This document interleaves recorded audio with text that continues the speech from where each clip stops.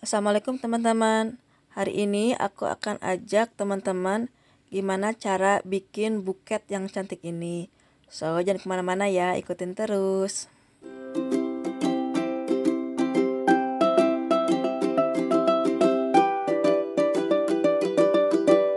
Halo, assalamualaikum. Dengan Kak Kartika di sini.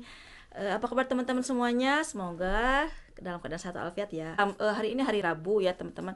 Biasanya itu kita setiap dua minggu sekali ya misalkan jadi satu bulan itu cuma dua kali ya. Kita ada kumpulan uh, semua perempuan, Frau istilahnya semua perempuan. Biasanya itu uh, yang dari luar yang dari luar Belanda gitu ya pendatang istilahnya ya. Kita kumpul bareng terus biasanya kita tuh ada kegiatan dan uh, untuk les bahasa juga. Jadi tujuannya dari grup ini itu jadi kita makin makin apa makin ada uh, teman itu ada perkumpulan gitu teman-teman. Uh, kadang juga kita uh, pergi ke suatu tempat kadang kita bikin sesuatu. Nah hari ini juga aku alhamdulillah ada waktu jadi aku mau pergi ke sana. Dan uh, untuk jadwal hari ini tuh kalau nggak salah itu bikin bunga. Jadi tapi aku nggak akan uh, ngefilm semuanya ya karena banyakkan mereka itu nggak mau masuk YouTube. Jadi aku aja dan kegiatan sebenarnya sih aku juga di rumah banyak banget yang harus diberesin ya. Belum beres belum cuci piring. Tapi nggak apa-apa lah kali-kali. Soalnya kan uh, kapan lagi gitu ya. Maksudnya kalau nggak nyempetin kita nggak bakalan sempet gitu. Pasti kalau di rumah itu pasti kita itu selalu sibuk. Ada aja yang dikerjain tapi ya udahlah. Kita ketemu sama orang-orang kita silaturahmi. Yuk ikut nah, aku baru nyampe nih teman-teman nah kita ke sini.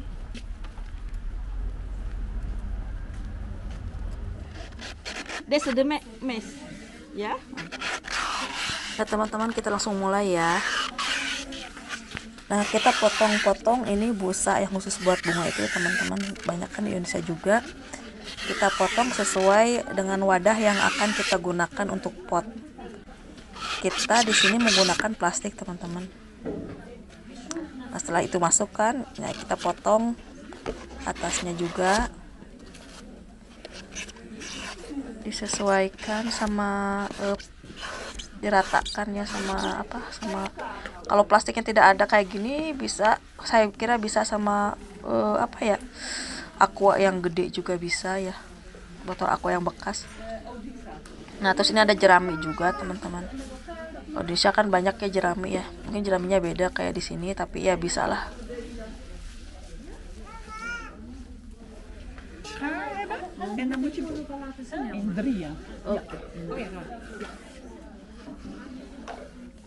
Nah jerami ini kita potong menjadi tiga bagian teman-teman. Oh.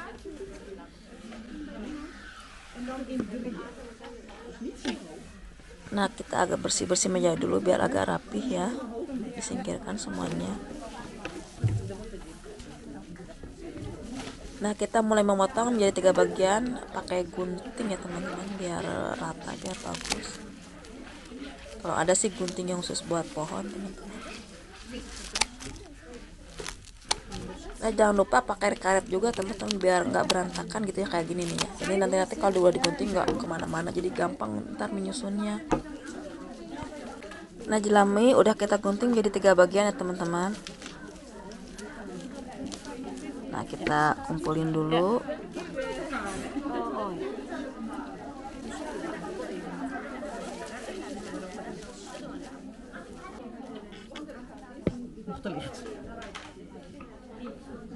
Waarom wat uh, met water? Anders gaat hij omvallen. Oke. Okay. So, uh, dus water blijft hier ja. altijd. Ja, ja, water blijft er een beetje in. Jadi teman-teman kenapa dikasih air e, biar si pot ini berat gitu ya. Karena kalau nggak dikasih air itu nantinya itu ringan terus cepet jatuh. Jadi makanya dikasih air gitu. Nah setelah itu kita pasangin karetnya teman-teman. Nah itu kita kita mulai untuk e, menjajar mendekorasi pot ini ya. Caranya kan teman-teman ini jerami kita putar biar rapih kan. Makanya tadi itu apa si si ininya apa si karet itu jangan dilepas biar gampang kita kalau mendekorasi gitu ya. Enggak ya kayak gini aja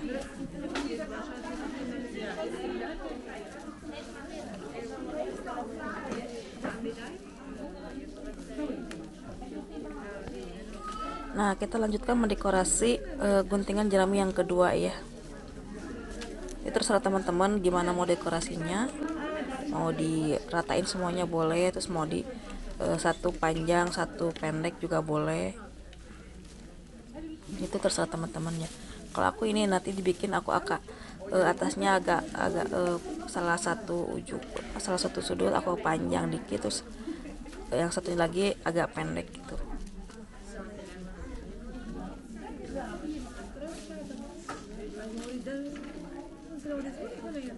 Nah semua jerami udah aku pasangnya teman-teman lihat kayak gini hasilnya.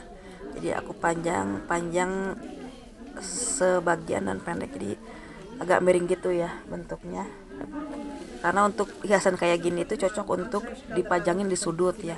Kalau misalkan teman-teman mau dipasangin di tengah-tengah meja itu lebih baik di bundaran aja. Maksudnya jadi semua jerami diratain itu untuk di meja. Tapi kalau untuk di sudut itu emang kayak gini modelnya gitu. Dan aku rencananya itu mau di mau di sudut gitu enggak di tengah-tengah meja. Jadi aku modelnya kayak gini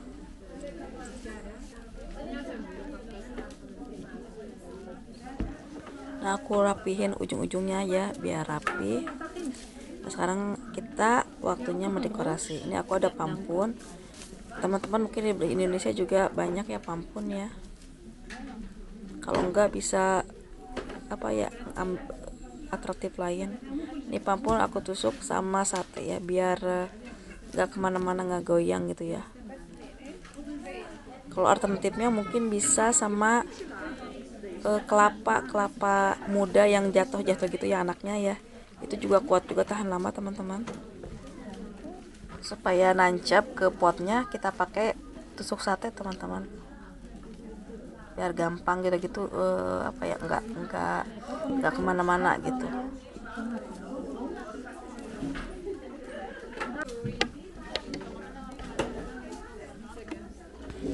Ini aku pasang sebelah sininya sini ada bunga.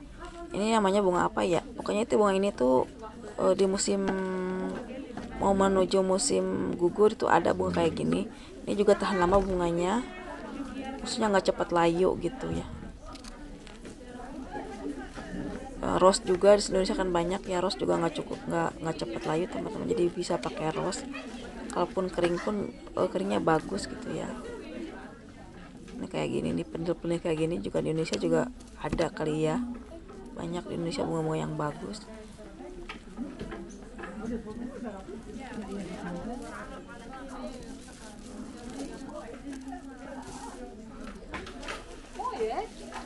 Ini daunnya nggak aku buang ya teman-teman. Bisa daunnya juga bisa nanti untuk dihiasin juga untuk apa ya untuk uh, oh, kayak gini nih ya. Udah mulai rapi ini satu lagi. Ini cabe cabe cabe ini hiasan teman-teman ini nggak bisa dimakan. Emang untuk apa? Untuk uh, taman hias ya. Nggak untuk dimakan. Tapi teman-teman kalau punya cabai kayak gini juga bagus ya. Bisa dipakai dekorasi. Ini juga pohon cabai juga kayaknya nggak cepet layu ya. Jadi bisa coba-coba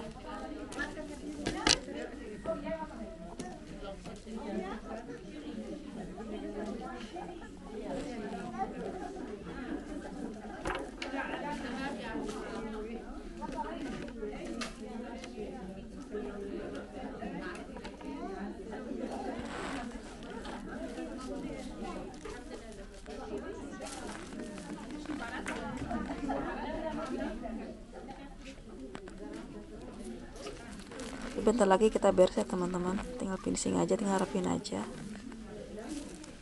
Ini daun yang tadi aku sematkan di celah-celah yang emang apa ya ada celah-celah gitu aku selip-selipin. Jadi nggak ketara ada busanya gitu kelihatan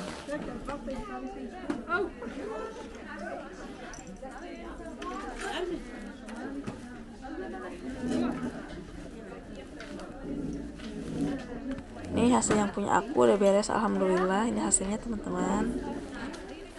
Ya teman-teman juga nanti bisa coba ya di rumah ya kayak gini. Gampang kok bikinnya. Itu mudah. Bisa juga untuk bahan buat jualan ya. Ya aku satuin sama hasil yang lainnya. Yang lainnya juga ini hasil hasilnya teman-teman. Cantik kan ya? Eh hare ja ja hare kinderen roos altijd elke dag met mijn kinderen spelen ze eten gezellig maar eh, Samen. ja nog gelijk kwijt zo dus een beetje verdrietig weet je dat mijn eh, mijn dochter Ah, die grote jongen ook. Iedereen is weg. Ja. Dus alles kinderen. Met haar man. Ah, man Rebecca man. oh Hmm. Haar man ook was hier. oh Ik dacht- met haar man ook. oh oké Oh.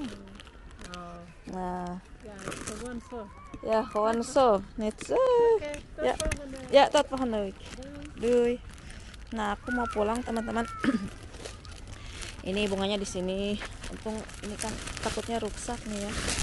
Aku giniin aja. Nih, aku giniin aja bunganya biar tidak jatuh ya.